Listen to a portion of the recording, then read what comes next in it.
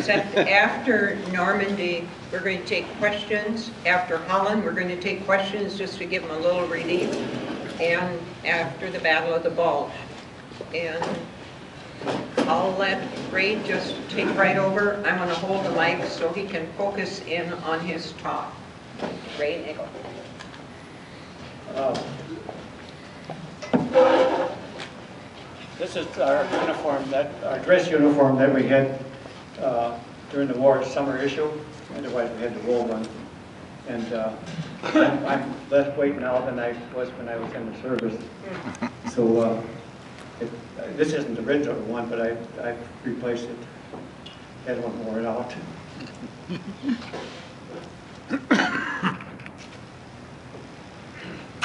I'll start from, the- I got drafted in uh, 1942.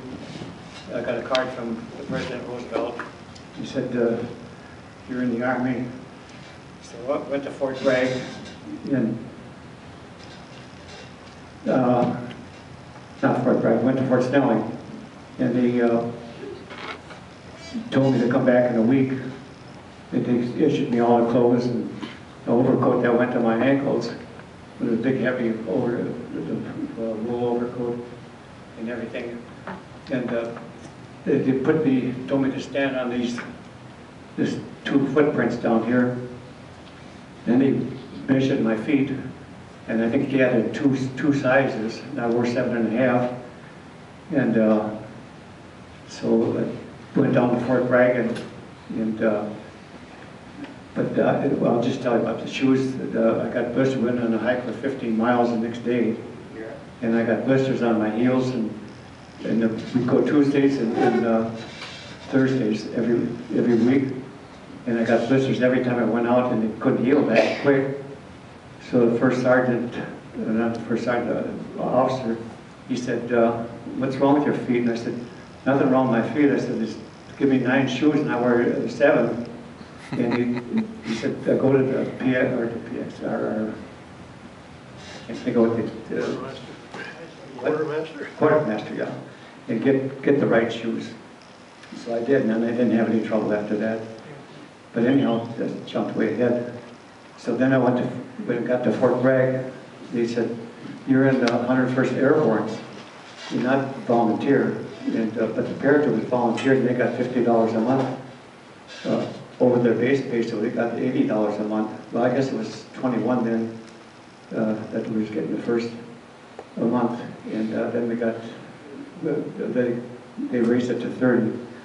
But uh, we didn't get any raise at all, and then after Normandy, they said, uh, we got back to England, they said, uh, we uh, lost sixty percent of our troops, so you'll get uh, flight pay. So we got that from fifty dollars, and then it was thirty dollars base pay, so it was eighty dollars a month, it was pretty darn good. But, uh, I'll just go down my notes here. Uh, The glider, it uh, weighed three hundred and seventy pounds. Three, three, oh, three hundred, yeah. That's Jim Eno. 370 pounds? No, more than that. 370 pounds of glider weight, Uh, the empty, three thousand one hundred. 3,100, yeah. And uh, it was uh, 83 foot wingspan, pretty as big as a football field. And uh, it carried its own weight, so that was a printer three, about a three and a half ton. It was getting towed by this C-47. And uh, the tow rope that was pulling, we hooked to the C-47, was 300 foot nylon rope. And uh, we never had any of them break that, in our outfit.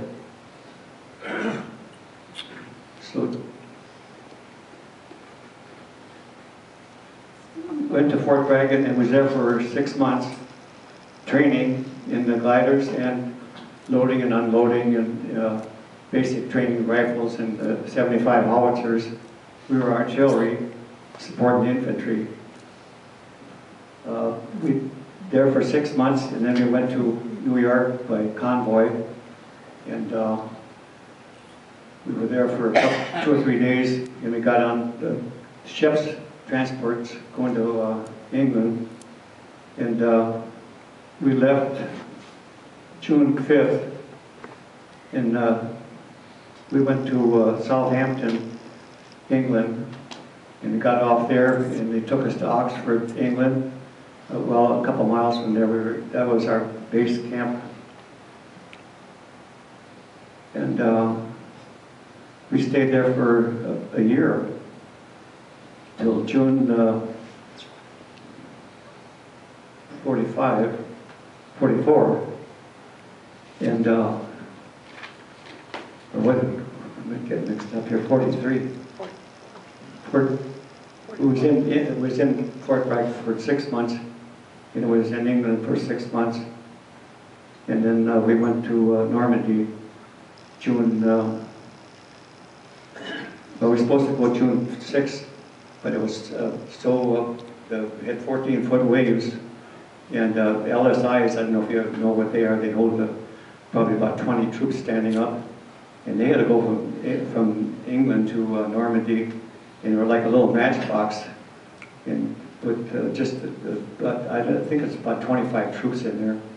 But we went on a big troop transport, uh, half of our division on Susan B. Anthony, and another half on uh, uh, Mos- Mosby. And that, that, uh, that was equipment ship, took the jeeps and the guns, and some, of half of our troops. The ship we was on had 2,600 of us, and the, half of our division was 101st, and then half the 90th Division was on ship with us. We got to uh, England uh, on the 6th, well, no, we, it was, the weather was so bad, we stayed overnight on the ship in, in harbor. And the next day we went out, and it was still bad weather, but we had to go anyhow. And uh, we were supposed to get off at 7:30, T plus one, and uh, the artillery. And uh, so we got there at 7:30, and we had to all our packed. First time in, you got hand grenades hanging all over, and ammunition, and you got, it was supposed to be about 80 pounds, but it it was uh, more than that. Everybody carried more than they should have. So after we got to the har- harbor, over the- not the harbor, but the beach, and uh, the ship was supposed to empty, us- uh, get us off on LSIs, transfer to, to go in.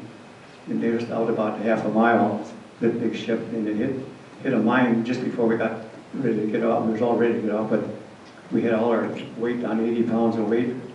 And uh, when it hit that mine, it was just like hitting a brick wall. We all fell down and, and, and put the power out, and uh, no lights in the ship at all.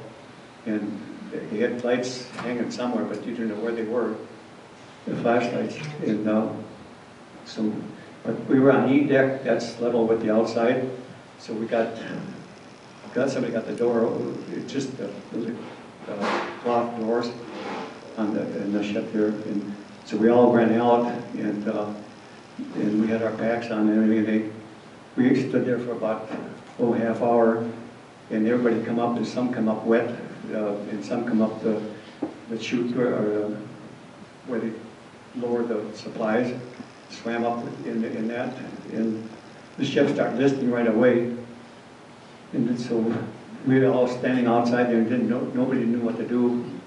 And so we, uh, all American ships were going back and forth, passing us up, uh, taking prisoners out, troops in. And uh, I thought, why the heck don't they stop and pick us up? And it was 7:30 in the morning, and uh, not an American ship would pick us up. There was four to 5,000 there D-Day plus one. So uh, we didn't, nothing we could do. And it was a huge ship, so it wasn't bobbing too bad.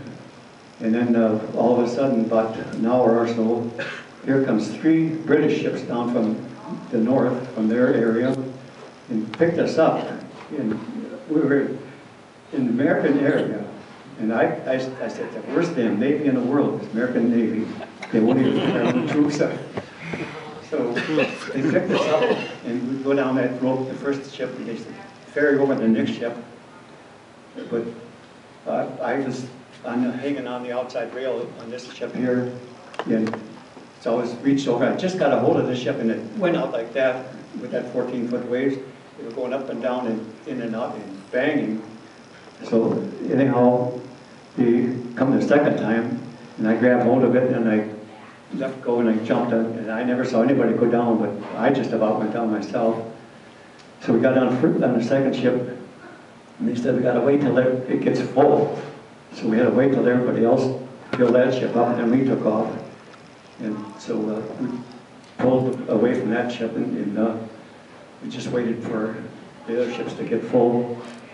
And they gave us tea and crumpets, and it was nice and warm in there. It was cold outside with that wind in June 6th. So they got, all the ships got full, and they pulled away, and then the ship, they wanted, uh, we heard that they wanted to uh, beach it, push, push it in or pull it in or something on the shore. And our captain said, no, he, he didn't want it, it was a, a ship used to run to South America. And, but we didn't know at the time, they had phosgene gas shells, our, our shells, some of our shell, in case the Germans used them. So that's why they didn't want to beach it, because if it dropped a bomb on it, then it'd catch the whole Utah beach. So now we, we didn't find that out until uh, the last uh, June, I, I wrote an article in the Legion, and one of the Navy guys that was on the shore that day said, how come you didn't mention you had phosgene gas in the ship? And uh, I said, we didn't, nobody knew it, except the the captain, I guess. He said he wanted to sink it. So he- he left it right out there where it was. And then when it, when it did sink, it went down, the back end went down, and, and it- it hit bottom, and the top was still sticking out of the, out of the water. But it did finally went down, and it did go underwater, so they, they couldn't, wouldn't uh, probably bomb it or uh, submarine it, It'd knock those shells apart. But uh, if they would have used, if that would have, the gas would have spilled there, then the but Germans would have used it. But uh, we found out later, after we got in charge, they said, turn in your gas mask. Uh, You don't need them. And, but we, we, they wake us up at one, two in the morning, we go for a hike, and gas attack, and they pull the gas mask open and put, and nobody, I didn't want to turn mine in because I didn't trust them. But I kept it for a few days, and then they finally, they had to turn it in, so I grabbed one of theirs and kept it for another week or so, and then we figured they weren't gonna use it. But I later found out that uh, uh, Hitler uh, told them, use the gas, or use the gas shells, to push them off the, off the beach. And uh, they, they said, the officers said, uh, we can't do that because it will kill all our horses.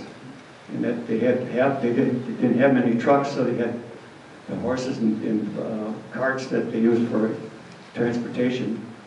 And so they didn't, they said they're not using gas. But I get- they had to, but so, you know, we got, we got eleven or ten o'clock in the morning, we we're supposed to be in at seven thirty. The, uh, it was on the British ship, and it was on their frequency, and we weren't on the American frequency, and they, they had somebody in shore that was signaling for each ship to come in at the right time. And they finally found out, somebody said that the Susan B. Anthony sunk, and we're on the British ships. So then they called the British, and uh, this is ten o'clock in the morning now, and that saved us from going in at seven thirty. And so uh, we lost sixty percent of our division in London going in.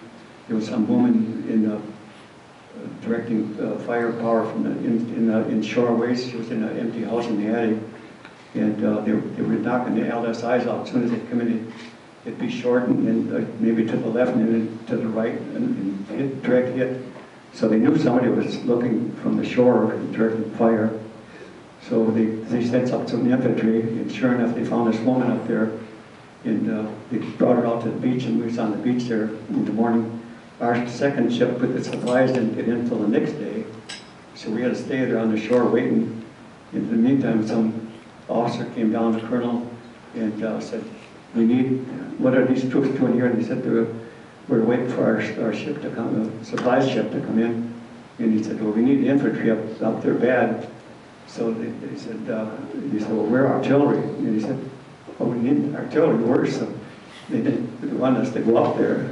And we had uh, 300 troops there. so we didn't have to go up. So then we stayed there overnight, and, uh, and our ship came in the next morning. Uh, And then we, we, uh, first town we took was Carentan. That was about a little mile and a half or two miles inshore. And uh, we, we took that town, and the Germans counterattacked, took it back.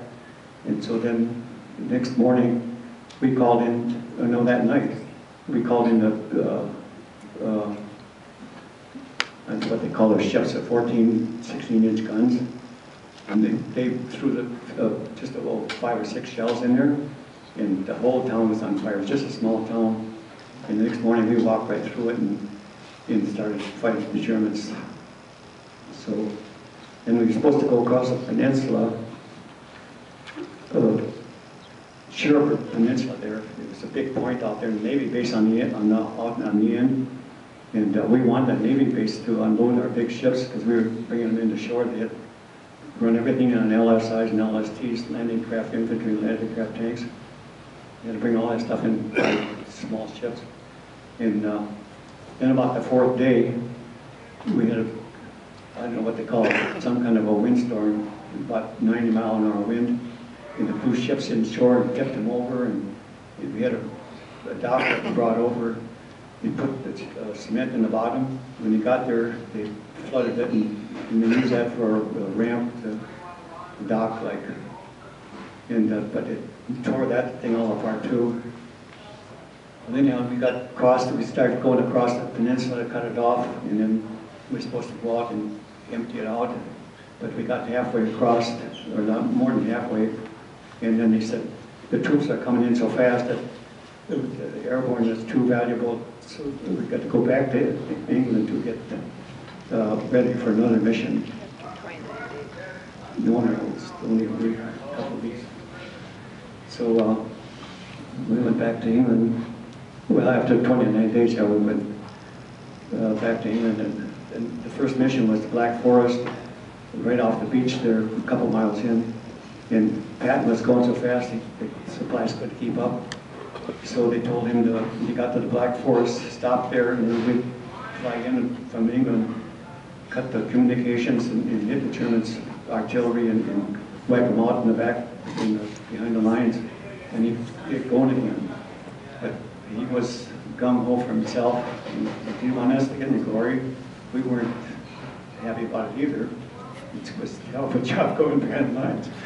So anyhow, he, he went past our drop zone, and then it takes another three weeks before we could get another drop zone.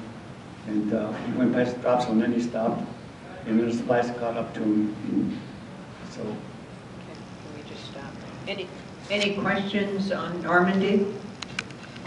And the uh, training stage with gliders, do they actually train up in the air with the gliders? Oh, That's we went kind up, of yeah. dangerous, isn't it, to- just to train that way? We went, uh, in the United States, we went up every, every week. Tell them what the question was. Did you train in the black? We, we, we, yeah, we trained up loading them up and, and tying them, down- uh, guns down and then je- and one glider and a jeep and another glider and uh, ammunition and we, we had, we trained every week in the glider and we flew to, and uh, the first time we flew in the glider, I looked out the window and, and the wings were going like this here. And I thought they were gonna break off, but that's what they're supposed to do, but I didn't know that at the time. And then another, another time we had- had lunch and uh, we had cherry nectar for dinner. And we got into gliders and just one person, he got, we start, the glider started moving, the C-47 started pulling it. And he had his helmet, took the liner out, it's just a steel helmet. And uh, used it for his spit, his vomiting. He vomited every time he took off the runway. And, uh, but half the guys got sick, that vomit smell, you know, it was, it, I, I never got sick, ever seasick, but uh, some people are just prone to it. But uh, anyhow, it was, that was a horrible day. Any other questions?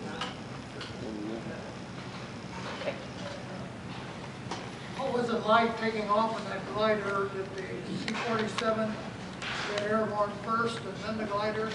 No, we did. uh, the 300-foot tow rope, uh, it was tight.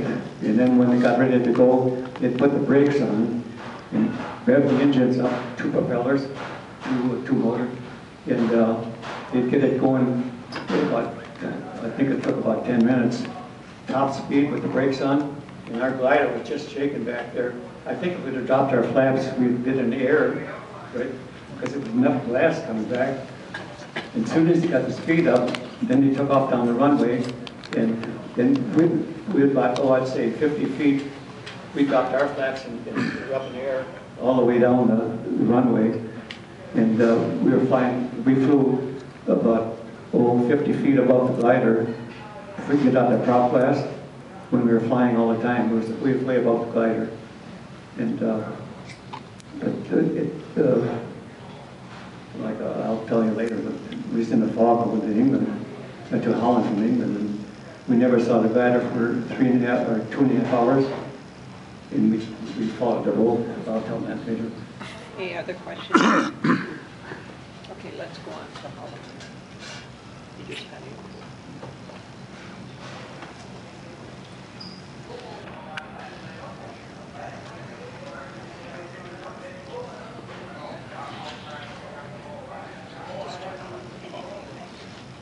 with. So uh, we had, uh, I'd say, eight, 10 airports we were going from with our battalions. And uh, so the paratroopers go two or three hours early, and they're supposed to clean out the whole area.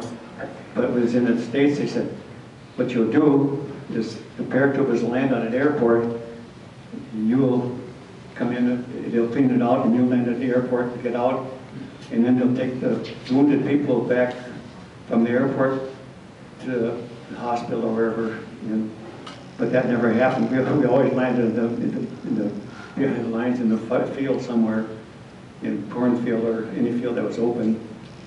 But uh, the uh, then they said uh, you, you uh, we had uh, emergency chutes in case some trouble in the air in the states. We got to and They said we're short of true, uh, suits, you can, uh, chutes, we'll take them away from you, and you don't need to chute to land in the glider anyhow. So they took the chutes away, then they said, we had a co-pilot and pilot, and they said, you don't need two pilots to land a, a glider, so we're gonna take the co-pilot away, and one of your troopers can sit in the front, and you'd have one extra trooper then. So then uh, they said, you gotta you can take over the controls after you got in, they got in there, then we take over the control, control and just see what, how to, the in and out, up and down. And, uh, rudder, or the, the- for the, I can't think of the pedals, two pedals there for, for the, those. I can't- Rudders. Rudders, yeah. So anyhow, we all, anybody that wanted could go up there and, and it's all plexiglass. And, and here, this rope is right there and that's, that's all you can see is a rope. You follow the plane. But that was nothing to it to steer that. It would be for landing because you gotta land in, at uh, about 125 miles an hour. Otherwise at four ton, it's gonna just flop out and hit the dirt and, and just, if you aren't coming in fast enough, you're not, it's not gonna glide. I'm taking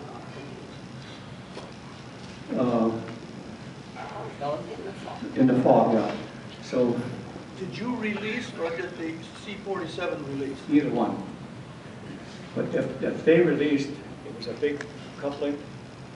And uh, if that came back and hit that plexiglass, or the rope even snapped when it went by you, it would probably break all that plexiglass and they'd just go flying right down. the- So they didn't want to release on this. If they put, dropped the, we, we had a wire around the, the rope, radio, but you got in the air and you couldn't hear a thing. It was so noisy, you had to shout to the person next to you. It was noisy. And uh, so you couldn't communicate it after you're in the air, which was a dumb thing. And, uh, but uh, the, uh, about fall. yeah, it was fog, and fog, it's, we're supposed to leave at seven thirty in the morning, because the paratrooper is gone about four.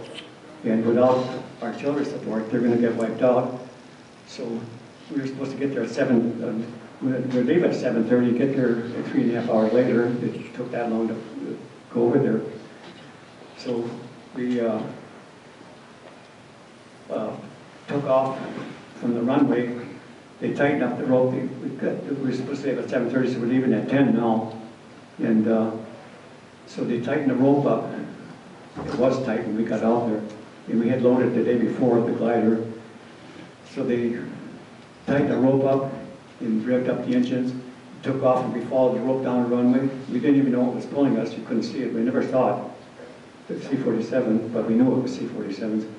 So we took off and followed the rope, and we never saw the plane for two hours till we got, it's over the channel, we saw water one time as low as about, it was, got in the fog then. So flying along for two hours, and all of a sudden, we, the plane that was pulling and towing us, he was running into a glider in front of him. We hadn't seen anything, It was supposed to be sixty of us in the flight. And uh, then they had Lancasters, the fighter planes couldn't go over there and back. So they had to have British Lancasters, the bombers, they went past, circled us, kept us circling us, they're supposed to be. We never saw any of them either. Didn't see anything for two and a half hours. It was over the channel, all of a sudden our plane, he, he was running into a glider. We didn't know it, and, and we're flying higher here. All of a sudden, we, we went past, the plane was pulling us. Rope was way back, and by that time, we were stalling out with the four ton, and I ran on top of the plane, and they, they looked up at us, and we looked down at them, and they revved up, and and got out of our way, in that big tail fin in the back. It was, it was, uh, I thought we were gonna hit it, but we, we missed it. And if we had touched that plane with our, our glider, it would have flipped the plane right up in the air and, and our tow ropes all together, and we'd have probably both went down in the channel. But we, he got out of our way and, and that rope tightened up and it gave us a heck of a jerk.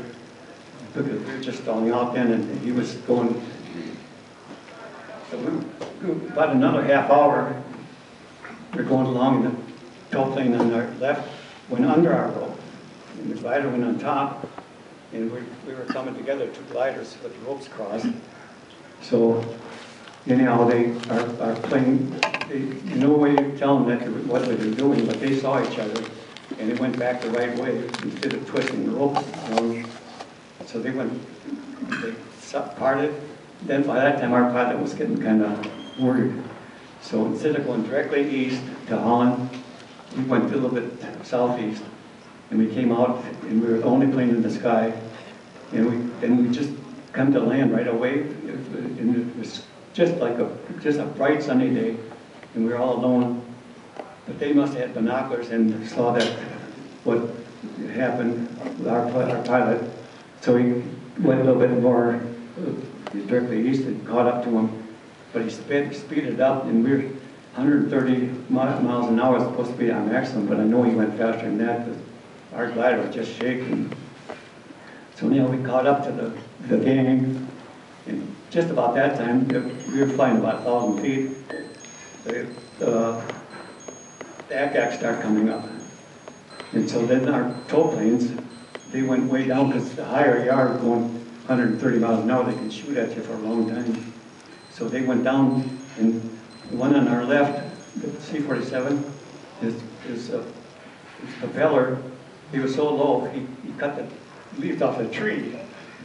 And the leaves went flying back and we were right behind him. And, uh, and then, one of the airplanes uh, up ahead, it all of a sudden just turned and went into the ground. It must have been a direct hit at the pilots. And and just blew up. The glider got loose. All they had to do in the glider was just hit the button like that and it would re- release the clamp. Or the C-47 could do the same thing. So we kept on going and and was looking down and here the guys were shooting at us. And if had we, if we had the door open, it was just a little door, we could throw hand grenades out on top of them.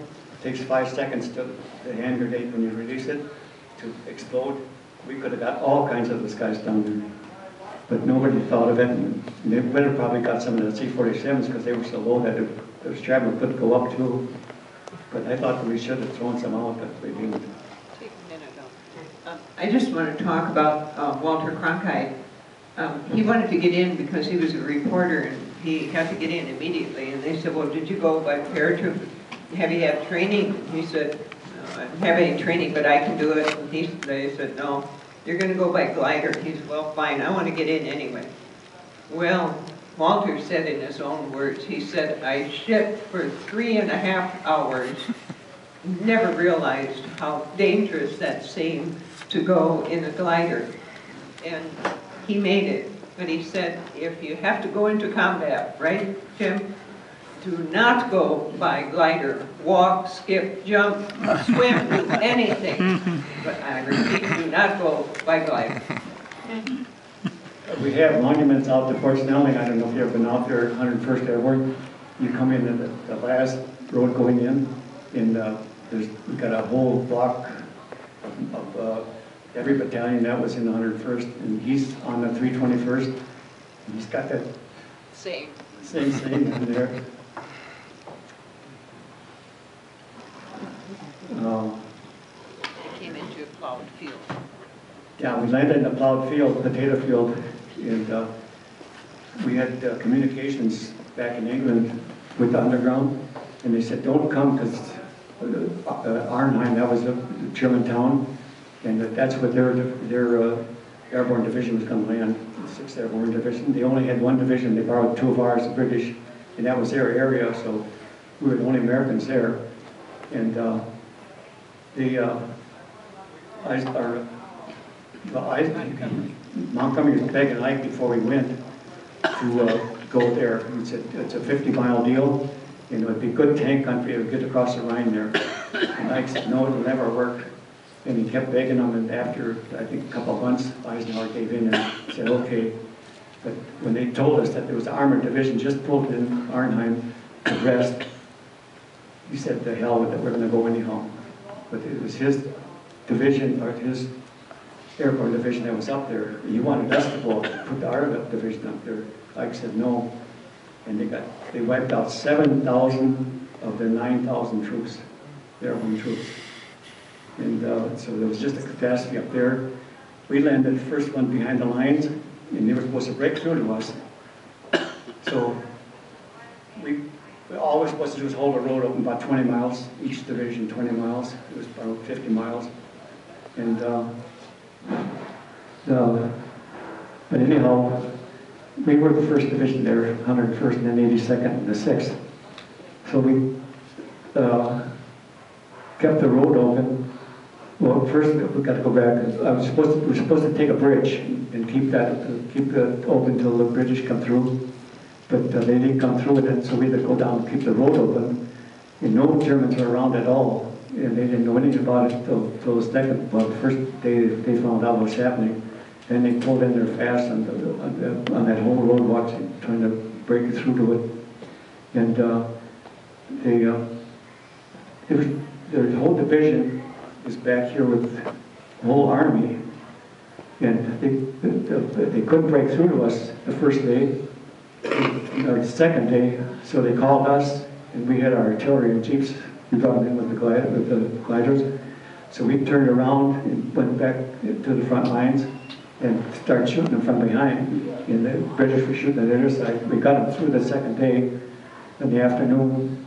And by that time, the 88, the Germans had their 88s all along that road. And it was below sea level. And so it was just like an airport flatland for 10 miles, you could see. And the 88s would shoot about seven, eight miles. So they had them shooting artillery on the road as soon as the tanks came through. And they knocked out a few tanks, and it was just a dirt road. It was about four foot high above the ground. And the tanks came through, and they, they got the first one and the second one, and the third one, and then we got the bulldozers up, the British bulldozers up there. You'd push them off, off the road. Then they got the bulldozer, then we got another bulldozer, but it was, everything was screwed up. And finally, they, they, uh, called in the fighter planes, they were circling around and they found out where their 88s were, knocked them out. And then they got the tanks going and, and we had to sneak along the road. The, the shells were still coming in, but the road was this way and the shells were coming in from that way. We was going along, sneaking along the, down below the road here, four foot high. And then those ten, tanks were ten foot eight, 10 foot high. So they were 14 foot out in the air of of this flat land. And they, they just had a wild time shooting those tanks out. So it just, the whole thing collapsed. And uh, we kept the road open and we, we stayed there and fought with them. It was supposed to be a five-day mission for us. It ended up 69 days. And I think the British, I, I I just don't, they aren't as fighters like we were. And I think they wanted to keep us there. I know they did because they kept us there 69 days. And, um, but they make tea, they stop the war. Tea's got to come first. Right on on the highway, right on the highway, when the shells were coming, they said, they were crying there, we lost one of our officers, he got killed with shrapnel. And we said, get down in the ditch on this side so the shell would go over you. And, uh, but I don't know, they're, they're real nice people, but I don't know if they were good fighters. I don't think they were. But anyhow, we stayed there 69 days. What's that? No, it's about, it was about 60th day we were there, just holding up there, couldn't get across the line, they pushed us back. So it- nothing was going on, just holding for, for for 69 days. But the 60th, but the 60th day, Germans found out that, well, they didn't find out, they- they just, they didn't have an artillery. And one division, they, just started coming through our front lines, we were on the front lines. And so we opened up with our 75s, we had six of them, uh, two batteries of six, and we opened up with both of them. Then we called in our 155s, they got 12 guns too, they were behind us, and then our 155s and 240s. And They still kept coming, and so they called in all the British uh, guns in the tanks, and uh, they, we gave them the the coordinates of where, where to shoot. And we had 105 artillery pieces shooting in this one area, and nobody got through. And then after an hour and 15 minutes, they'd come out and wave white flags. And I don't know, if I should- uh, our colonel, infantry colonel, didn't, he didn't like what they were doing. So he said, throw in a few more rounds. So we did, and that was at 4:30 in the afternoon. And uh, so they couldn't drag anybody out. And they were moaning and groaning. We were about half a mile from them. And so anyhow, they, they waited till it got dark and then they came out and they they did drag some of back that were alive. But the next year we went down there and they had a book, one of our books, wrote that we killed 80% of the division. And I don't know what the German division is, around 20,000, but I don't think it was a full division. And uh, not a soul got through. So, uh, and about, you can imagine, 80% of a division, how many people that is, there was. It was all hamburger when it was done. And an hour and 15 minutes of shells exploding, and big shells come from the behind. But, uh, so we were there about, oh, another, well, about six, seven, eight days in the rain, in the sunshine, and the stench was so bad, we couldn't even eat. It was just, was all sick prisoner. But, uh, it, they, it was all done then, nothing came in after that. So, uh, then we got march order, and, uh, after about seven days, and, uh, the Scotch people took over, brought their guns in and put them in their position there. And uh, the uh, Germans, they couldn't stand their own stench over there. And so they took and uh, uh, blew a dam, a dike or whatever it was, and flooded the whole area. And the, and the Scotch had to get out of there because it was lowland there and get their guns out. And they took off. And we had march order already a couple of days before that. And we, that was our, ended up fighting up there, so we went, went down to uh, France then. For that, all. Any questions on Holland? About the landing, when you landed your glider. Perfect. Gun 60 in the flight, and we never saw them until we got to Holland and at the land. And then, I, I don't know, there must have been a lot of crashed in the air uh, with 60 flying, and you couldn't see each other. But, uh, we had Lancasters flying around, and I never saw any of them. And uh, we never saw, never saw another glider except that one that went went underneath our rope till we got on land, and that must have been at least three hours. And we're just fine following the rope. What did you land in? Potato field. They just plowed it out, we had underground rock, uh, uh, radios before we went. We had dug the potatoes a couple days before, so it's real soft landing. And the gliders, the, the the wheels, they're, they're about this big around, and, uh, they, they're cast aluminum, uh, uh, brackets, and they would snap off. And then there's two skis on each side, and, uh, so the wheels break off, it's real easy, just crack, they snap off, like aluminum, cast aluminum. And then, uh, but we landed right up to a hedgerow, not hedgerow, over a ditch, irrigation ditch. And you- dig down in, you tip the back the glider up, and then you dig them with the skis, and the glider's just like a toboggan in the front, straight across. And it it packs the dirt, uh, in the dirt in the front, and some of the time the dirt packed in the front so much it came right in and got the the legs of the pilots. Broke the, broke the front end, pulled out and collided. And you gotta watch when you get out of the glider, because everybody's coming in the same direction. But then somebody sees a place over here and they turn, they're gonna land over here. Well, That's bad. And so we were on, I don't know how it got in front, because we were in the back, we, we come across the channel, and we went off and on on our own. We caught up and we were in the back, but there was some still landing after a while. I had to look up, and you're gonna, there's a road over there, so you gotta look up and you see if anybody's coming. We can't honk, there's no horn to honk, and, and, uh, they're not go, they're not gonna turn and miss you, because it's, it's four ton. They're just gonna knock you down, and so you gotta watch out yourself.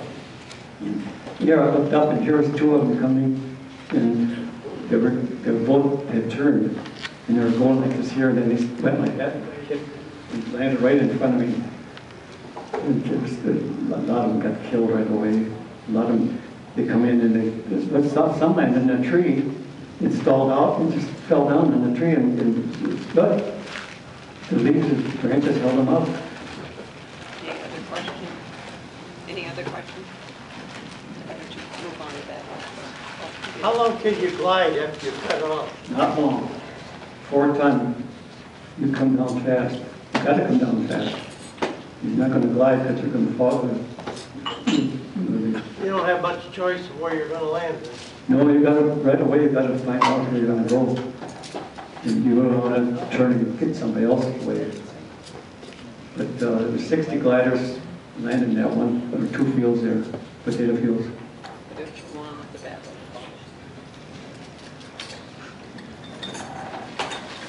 Uh, we, we left there, they were having trouble at Frankfurt, uh, Germany, so we, we were just assaulters. So we went up to Frankfurt, Germany and, and relieved some of those troopers, we helped them too for a week or so. And then uh, we were supposed to go down, down the coast, uh, down the south in France, but the Marmel, uh, Mourmelon, there's a French uh, camp there, and we've been on the line for 69 days. And uh, so we go to this camp. The first uh, we, they pulled in, uh, in Holland there, just before we left, they pulled in a portable shower. And so one afternoon, they said, uh, we we take, there were six trucks, we took six truckloads of guys and went to, we got in the shower. And we had, that's the first shower we had, the only shower we had in 69 days. You know, we got a shower, and you got in there, and it was nice and warm, and oh, it felt so good. They said, two minutes and we're shutting the water off. We just got soaked up. And so we had to get that soap off, so we, we all quick, just washed the soap back off and we got dried. And then they had to offer a theater, a movie that night. And so we stayed there till, uh, we got there about, well, eight o'clock. And, and the, the- and the movie was over during midnight. We'd taken the six GMC trucks back in the dark, and you can't have lights on. It's the little green lights, you can't really see them standing in front of them. As we got back, we were about halfway back, and they said, halt, and they called us. And he said, where are you going? And we said, we're going back to our to our front lines. And he said, but you're, you're in the front lines right now, no man's land. And so we had to back those trucks up in those little roads, like, like an alley. We back up six trucks, and finally got them all turned around, it's around midnight. And no noise at all, it's quiet as could be and dark. And they usually can shoot a flare, They- we got flares and the Germans have too, and they're on parachutes. And they- they're white phosphorus, and they come down and they light up everything. But they didn't shoot any up, and we got the trucks turned around and got back to our base.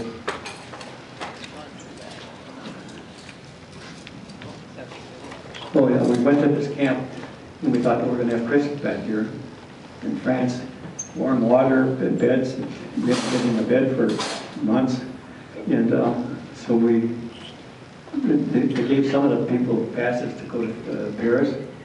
And, uh, but they do uh, so many percentage. And then we got orders, the Battle of the Bulge, we got to go the next morning. So they had them piece and Paris picking them all, everyone up and tell them what the the uniforms. So they had to come back to camp right away. And uh, then we went up at seven thirty in the morning. We packed all night. and Just got out of camp with a camper, to combat, so we, we didn't even get our, our guns fixed up and cleaned up and, and resupplied with everything. So we took off in trucks, grain trucks, they had grain trucks, they put a little straw on the bottom. Ours had the, the over the top too, and the- on the back, but some of them are just wide open on top. And The whole division, twelve thousand of us, we we went in a convoy, seven thirty in the morning till four thirty the next morning, up to Bastogne, we didn't even know where that was. And, uh, so we got there, and the Germans were, they shot under thousands of rounds, and they were still pushing towards Bastogne. They said, hold it down at all costs. So we got, got into town and through the town and, and got out there with our guns, got them all in position. And, uh, we, our four reservists are- had gone after head, and, uh, they directed the fire from the front lines. So we're back about half a mile. And, uh, so anyhow, they, they were all there, and the Germans started coming, and so we opened up on them, they didn't expect us there. And, uh, so we had all kinds of ammunition, and everything just loaded. And so we stopped them, and, uh, it was about four thirty in the morning. So they, uh, it it- was, it just started snowing, and it got colder than heck. And they, they uh, were bogged down, so they found out that they could go around the town, the ground is frozen enough with the tanks. They could around the town and then you have to come through. But uh, they figured to go shoot through the town and it'd save a lot of time. That was their plan, but we were there and stopped them. And it's a good thing the ground froze, because would have wiped us out. The- They had two, three armies there, I don't know how many they had there. And, uh, but then he left us there, and they just let it circle around us. We had to pull our lines back and close in. And, uh, and then it was snowing and and cloudy, and we couldn't get any Air Force fighter planes or anything to help us out or resupply us. And the 23rd, it, uh, they cleared up, and then the whole Air Force came out in fighter planes, and we had all kinds of, and our, uh, our radios were out, so they, they dropped in two jumpers with new radios and told them what we needed, we needed everything. So, uh, you know, they brought supplies in the next day, I don't know, maybe it was that same day. And, uh, the, they dropped, we had smoke shells designated the drop zone, so they would drop in the wrong place. And so they dropped them in there, and they had to push them onto the plane, some, two guys there, and they're pushing the chutes out. And, uh, then they open up and land, and as soon as the, the planes all threw the chutes out, they, uh,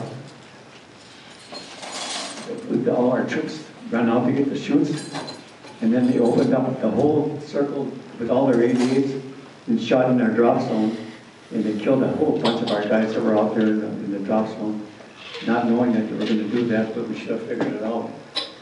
But, uh, and then we, we, uh, we, there was no place to go but stay there. We just changed, uh, positions one time. And, uh, Noville was, we had, that was the town we had. And, uh, Foy, Echo White.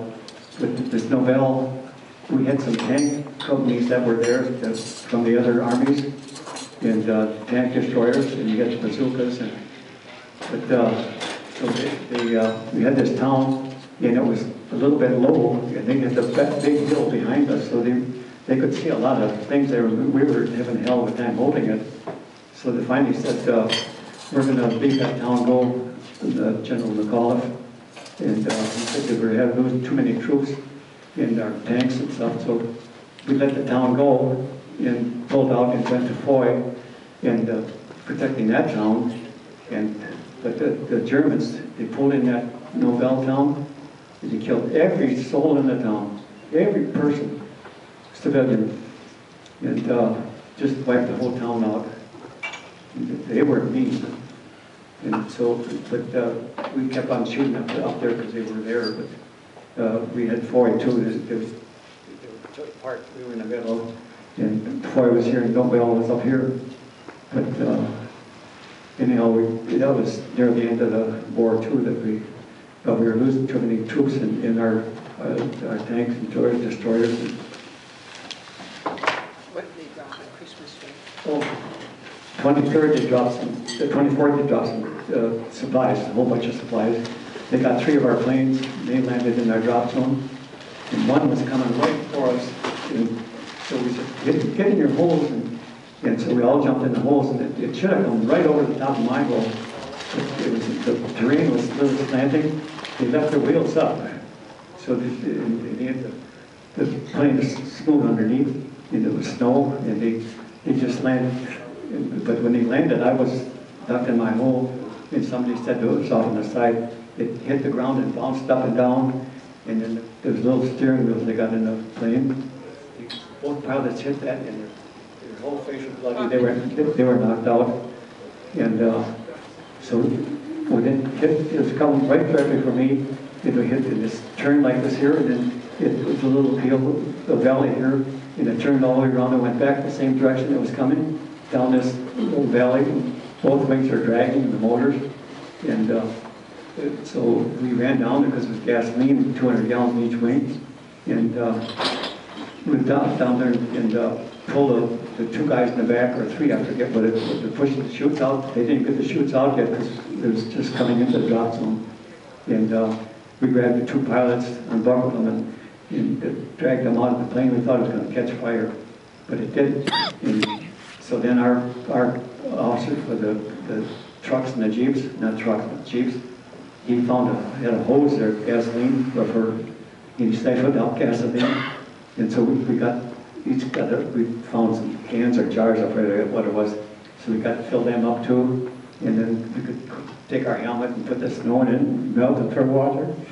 And, uh, then the, the, uh, we left, the plane was, was just sitting there and then we took out some blankets and some stuff that we, we could use, flashlights and, and, uh, so anyhow, they, there was three of them that landed, uh, that one was right close by us, but, What about the smoke there? Their shoot that came in? oh, Christmas Day, here comes the second drop. and They push the chutes out, just out the, the the door there. And here comes a little small chute, a drag chute, one of those white ones. And it had a little, it had fruitcake on the bottom. That's all. It was Christmas Day. And so we got the, the, one of the guys grabbed the chute and the cake. And so we cut the cake up and, and I hated fruitcake. But boy, it was good because we were out of food. So we cut the cake up and, and all had a piece. And, uh, there was, uh, oh, about fifteen of us there. And, uh, and then he got the chute.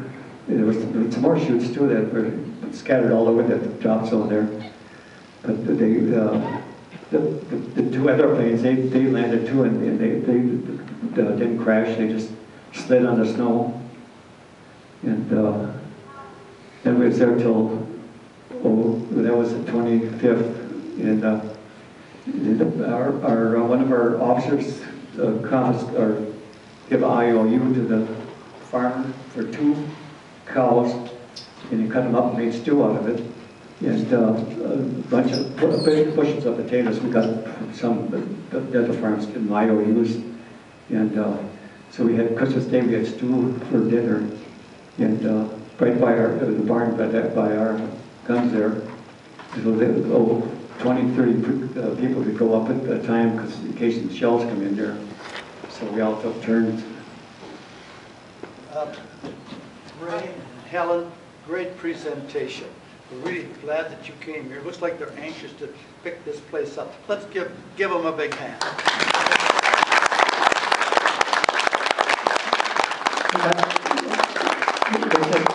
The last mission, uh, it was there, when they, then Hitler's hideout, we had to clean that out. We got down there, and there wasn't a German around, so we went in, and I got, I got open, it was linen, and you go down the basement, and there was a landing on both sides, of the room on each side, and another flight, I went down three flights. I got this linen, uh, German linen. And, uh, there was, there was one, whiskey, they got a case of whiskey, they went up, took it the truck.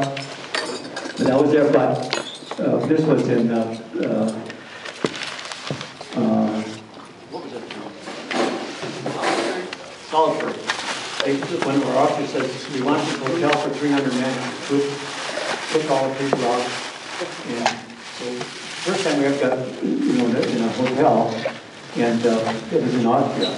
And then, on the way up there, there was a prison camp, and we ran across, and had all these uh, civilians in there, Jewish people, and they, they weren't uh, veterans or soldiers. But, uh, they, uh, we, we took them all to a hospital and, and, uh, and uh, kicked out one of the German prisoners over there, with a sling or something. We told them to get out, and they said, we're going to get out, and we took a pistol out, and said, I'm going to get out, and they said, you go.